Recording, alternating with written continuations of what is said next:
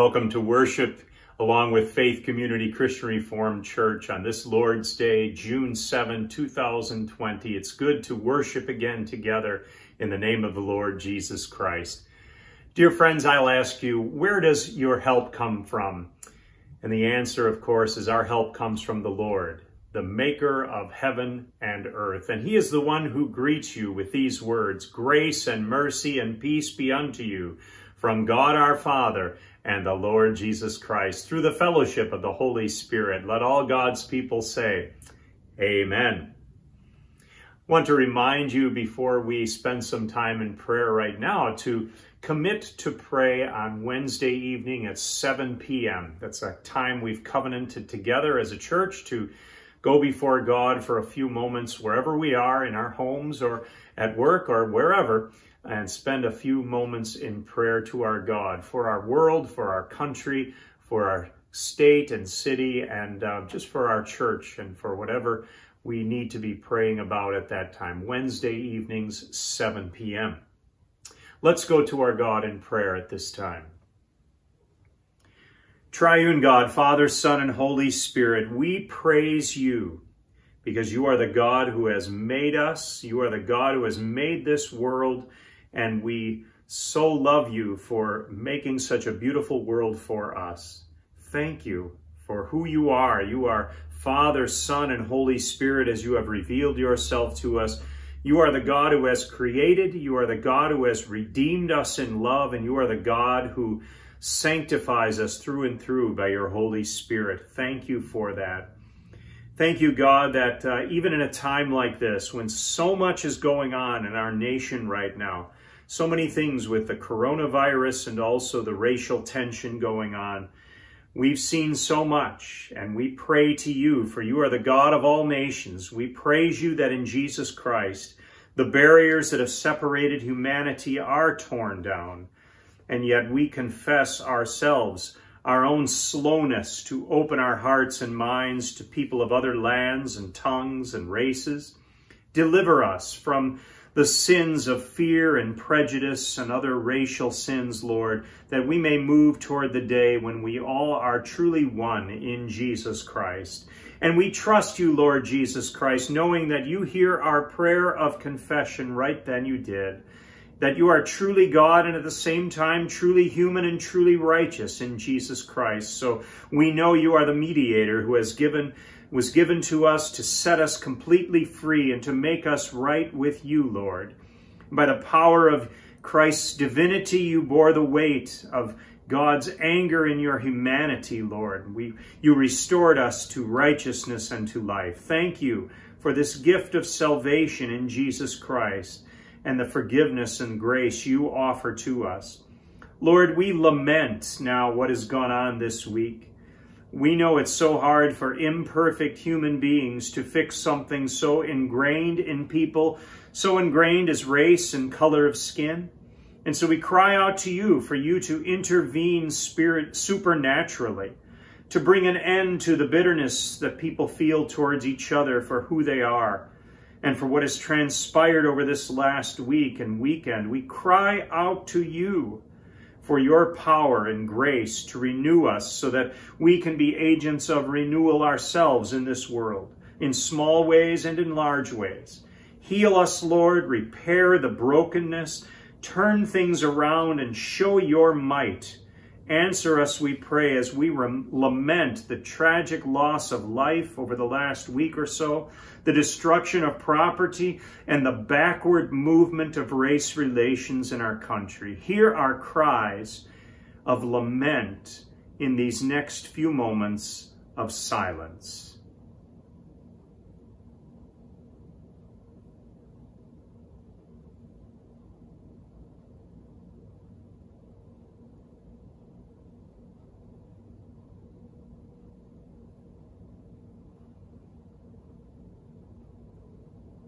Our cries go up to you, Lord. We know you hear us.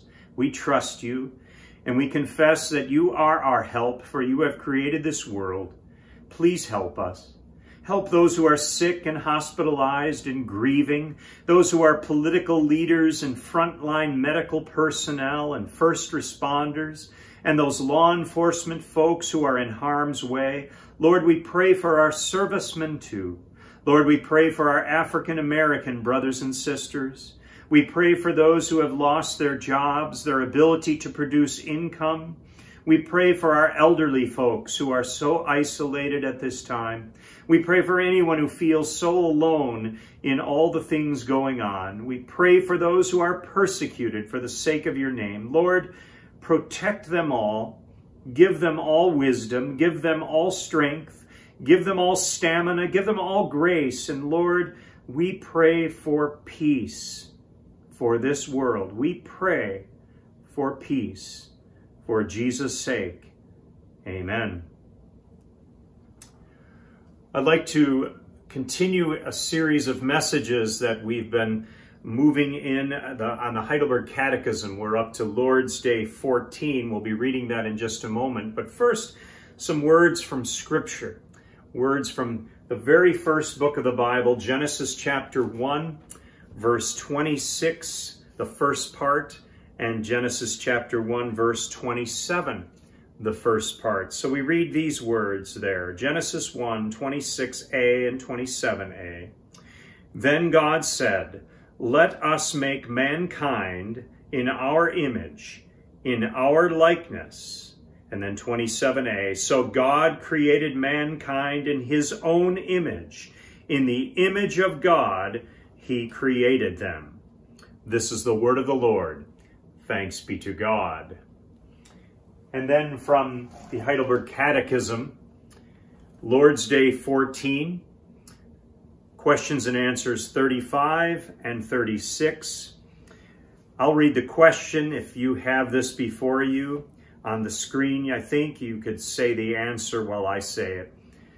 What does it mean that Jesus was conceived by the Holy Spirit and born of the Virgin Mary? The answer, that the eternal Son of God, who is and remains true and eternal God, took to himself through the working of the Holy Spirit from the flesh and blood of the Virgin Mary a truly human nature, so that he might become David's true descendant, like his brothers in every way except for sin. Question 36, how does the holy conception and birth of Christ benefit you?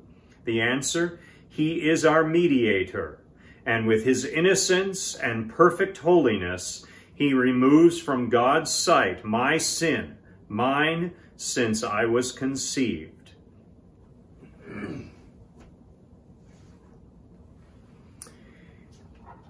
Well, friends, at the very beginning of this message, I'm going to be reading an extended uh, reflection by Max Lucado a prolific writer and a pastor, and um, he wrote something in relation to the racial tensions going on in our country right now, something I read and I thought, wow, that needs to be shared in this message today.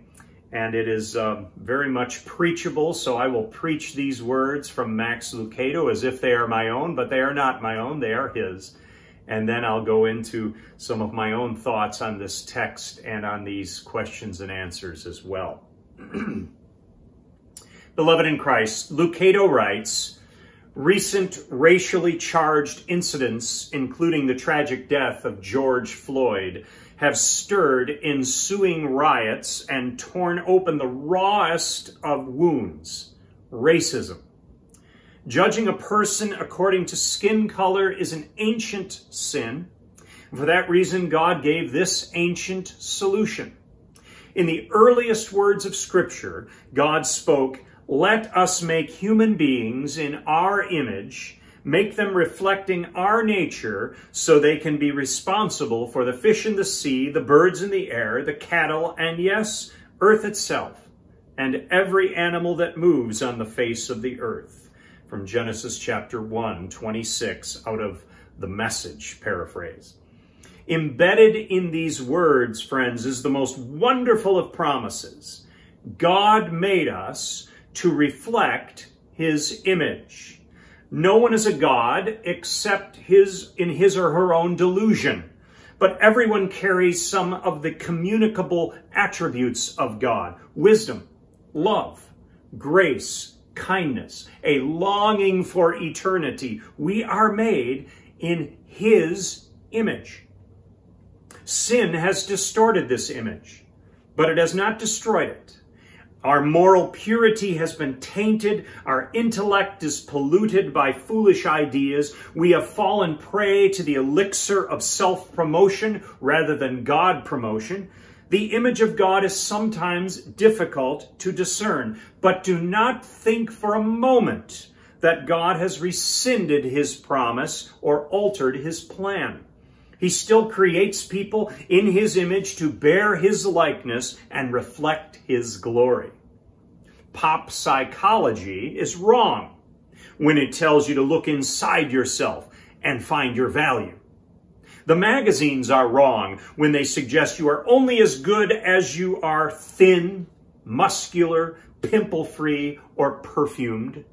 The movies mislead you when they imply that your value increases as your stamina, intelligence, or net worth does. Religious leaders lie when they urge you to grade your significance according to your church attendance, self-discipline, or spirituality. According to the Bible, you are good simply because God made you in his image. Period.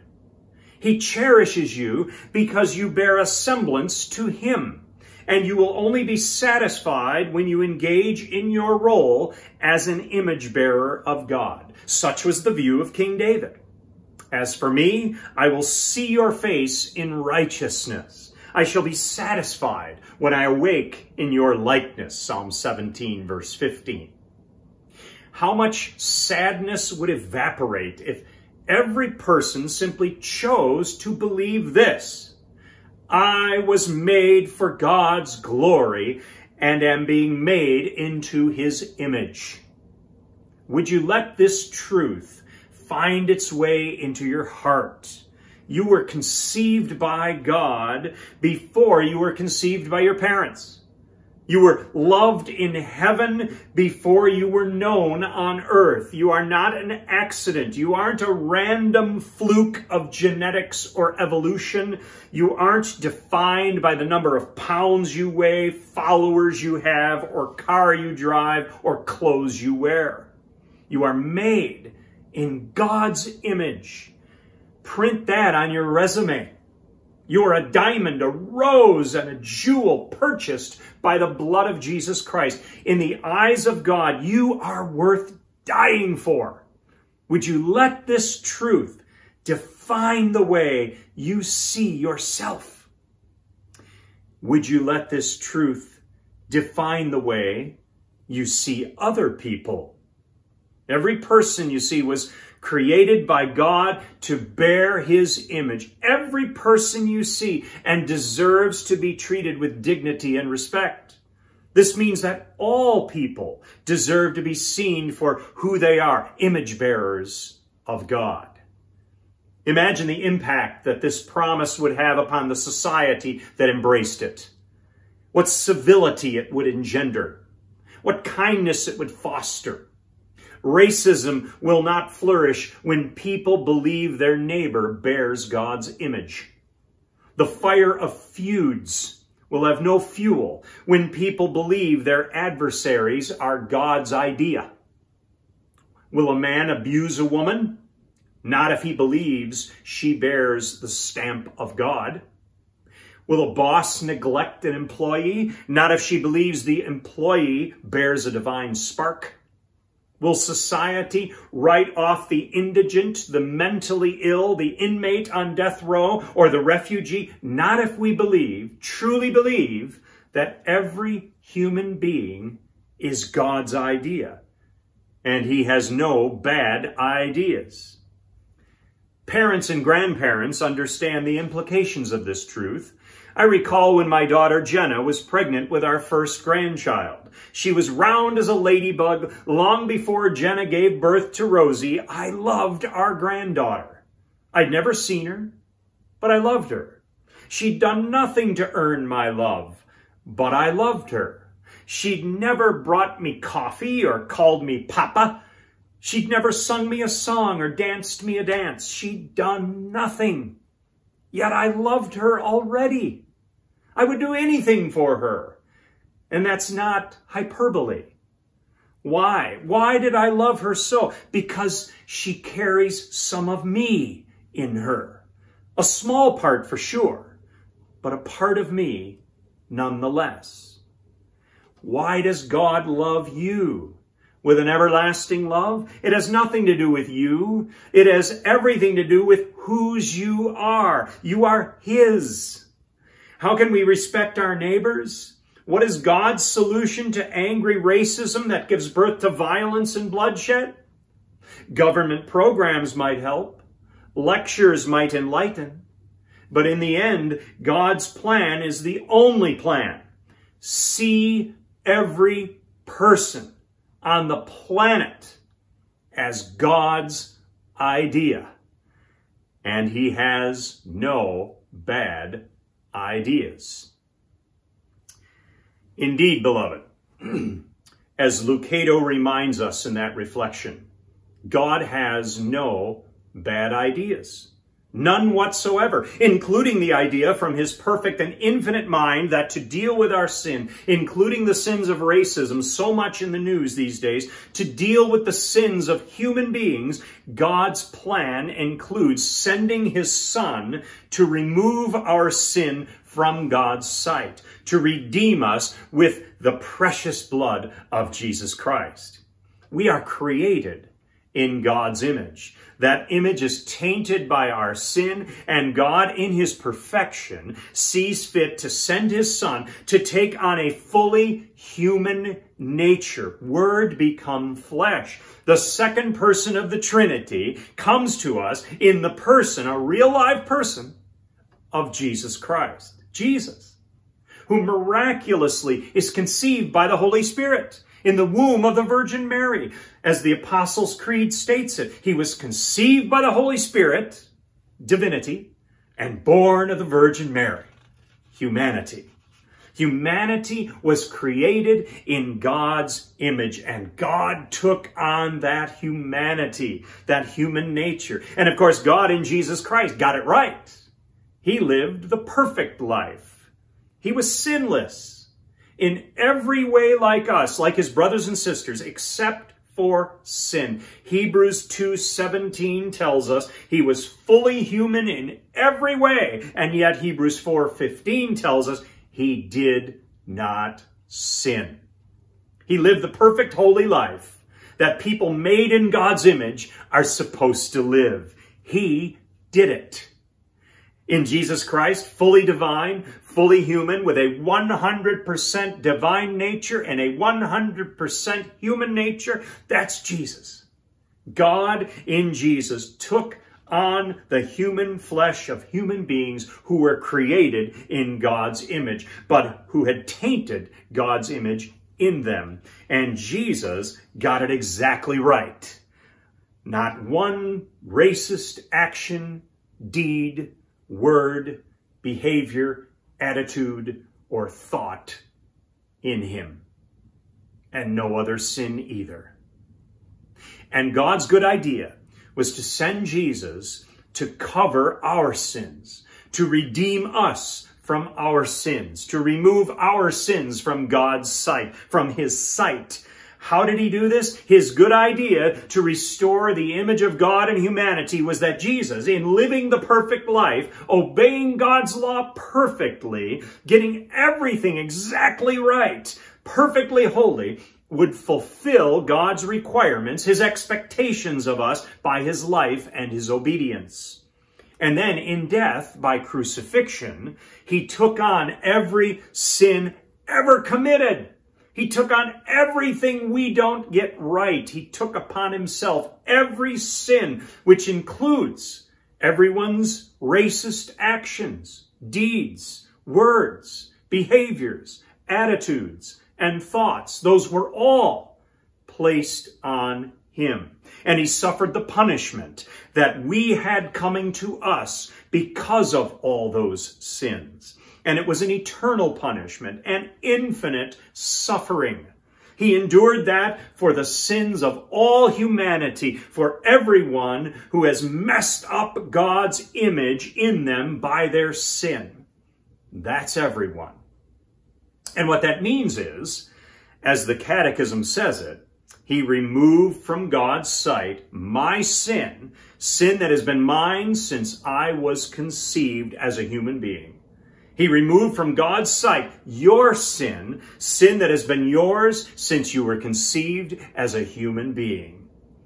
God's good idea was that Jesus could do this because he lived the perfect holy life as a human being with a human nature, and his perfect holiness stands in for our imperfection and our unholiness so that God can see Jesus in our place. And God's good idea was that even though we could never pay for our own sin, it's too great, the punishment infinite, still a human being had to pay that price. And Jesus was fully human. So again, he could stand in for us, human for human, so that God can see Jesus in our place on the cross. And God's good idea was that because Jesus was fully divine, he could endure even unto death an eternal, infinite punishment against sin. Every sin, that is, that was placed on him. Jesus could endure that because he was fully divine. He was the only one who could remove from God's sight my sin and yours because he was the only one who could take the punishment. And when he proclaimed, it is finished while hanging on the cross. That mediating work of redeeming us from sin back to God was finished. Fully human, born of the Virgin Mary, fully divine, conceived by the Holy Spirit. He was a mediator between human beings and God, humanity and divinity. He played both roles perfectly. He mediated redemption for us in the sight of God. He removed from God's sight my sin, your sin, our sin since we were conceived. Removed from God's sight by the mediator. God's good ideas, creating us in his own in his own likeness, in his own image, sending Jesus fully God, fully human, redeeming us from our sin by that mediator, Jesus, because we could never do it ourselves. And God's good idea also is this, that this is a reality for those who believe in Jesus as the one who did it, who saved them, who paid for their sins, believed in him. This is a reality for anyone who is a sinner. That's all of us who believe on the Lord Jesus Christ. Do you believe? It's a reality. God forgives our sins because of Jesus Christ, and he will do so for all those who repent, who confess their sins, trusting in Jesus as their Savior. It's a reality. All who believe are forgiven. It's a reality that this can be anyone if they confess Jesus as Savior and Lord. This can be anyone if they come to Jesus and repent of their sin. Let's do an exercise, shall we? Put these in order of bad, worse, and worst. Number one, a police officer asphyxiating to death a person he is arresting by putting his knee on their neck. Number two, an Antifa rioter, destroying property or looting or setting fires or even shooting and killing cops. Number three, a regular person who tries to stay out of trouble, but in his or her heart holds a few bad or not so nice attitudes about people of another skin color than themselves. What should be the worst of the three?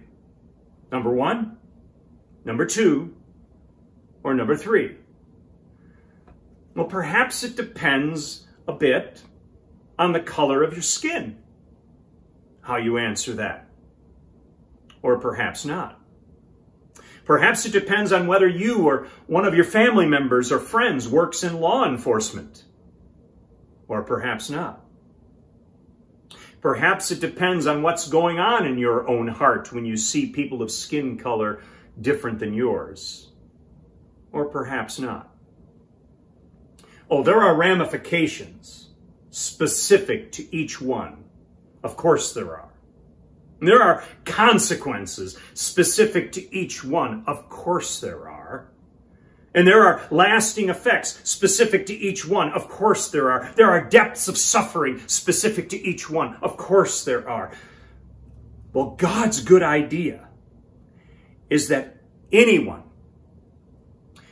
anyone who is part of any one of those three, anyone who confesses their sin and cries out to Jesus for forgiveness, their sin is removed from God's sight. It is forgiven, it is paid for, because Jesus is their mediator now, and God sees Jesus in their place.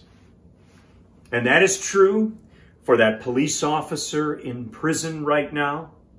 And that is true for any Antifa member who will be caught, arrested, and punished for destruction. And that is true for anyone who holds a single racist thought deep and hidden in their hearts. There still may be civil punishment, prison, paying of debt to society. Absolutely, that is as it should be. But for the one who repents, who cries out for Jesus to save them, their sin is removed from God's sight. And God sees Jesus in their place because of God's good idea. Sending Jesus fully and perfectly one of us, human, and fully divine too. And finally, for those who have cried out for Jesus in repentance, God says, now that you're forgiven, now that I see my son Jesus in you, you start acting and speaking and thinking the way that one who is created in my image is supposed to act and speak and think and you start treating every single person I have created, no exceptions based on color or gender or race or whatever, no exceptions as if they also have been created just like you have in my image because they have been too. And that was my good idea. That's what God tells us today. That's what God tells every racist from one who has killed because of their racism, all the way to one who has the tiniest little racist attitude hidden in their hearts because of racism. Bad, worse, worst. There's no sense us ranking them. Oh, they'll all be ranked by our civil laws and authorities as they should be. But ultimately, in the ultimate sense, there's no sense ranking them because they're all sin. And we're all sinners. But what a good idea. God giving us Jesus, our mediator, who removes from God's sight my sin, mine since I was conceived. Yours too. Amen. Let us pray. Lord Jesus, every praise we can give goes to you for doing what you did for us. What a good idea. God sending his own son to remove from his own sight our sins and to do that for anyone, anyone, no matter what they've done, no matter what we've done no matter how horrible it is or how hidden, you went to the cross. And no matter who cries out for saving, no matter who repents, no matter what, you are ready to cover their sin, our sin, as a fully human, fully divine mediator by your precious blood shed on the cross, shed for all those who are made in your image. That's all of us. So this good idea is available to every last person, no matter what color their skin is. Because of this idea, we lift up every praise to you for it. Every praise is to our God. We sing hallelujah.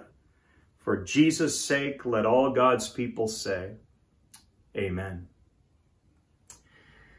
Beloved in Jesus Christ, the book of Revelation tells us that there will come a day, then there will be a great multitude that no one can count from every nation, every tribe, every people, and every language, standing before the throne and before the Lamb. That's the mediator, Jesus. Wearing white robes, holding palm branches in their hands and crying out in a loud voice, Salvation belongs to our God who sits on the throne and to the Lamb, Jesus. That's not an angry mob. That's the bride of Christ. That's not a bunch of rioters. That's the church victorious. And the only thing on their mind that day is not color or race or division, but a unified song of salvation to their God, the one whose image they all bear. And surely God will be blessing them as he blesses us with grace and peace to you from him who is, and who was, and who is to come, and from the seven spirits before his throne, and from Jesus Christ, who is the faithful witness, the firstborn from the dead, and the ruler of the kings of the earth. Let all God's people say, Amen.